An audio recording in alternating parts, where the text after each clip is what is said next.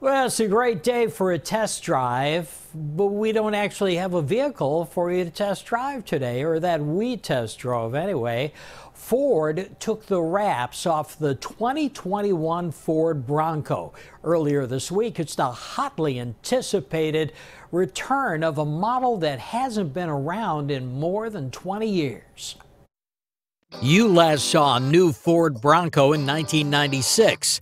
Now, the 2021 Bronco has been unveiled, and the new Bronco is a great looking vehicle that takes design cues from the old Bronco.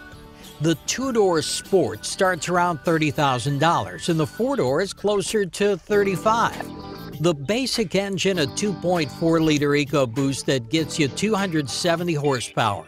A 2.7 liter EcoBoost V6 with 310 horsepower will also be available. The Bronco's ground clearance is impressive 11 and a half inches with 35 inch tires, and the ability to ford, no pun intended, through water that's nearly three feet deep.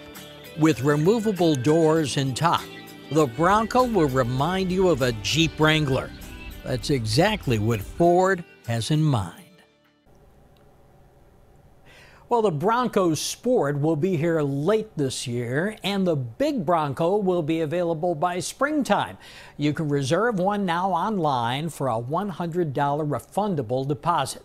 So if you're thinking about something like a Wrangler, a Forester, or a RAV4, the Ford Bronco is a test drive you're gonna have to take.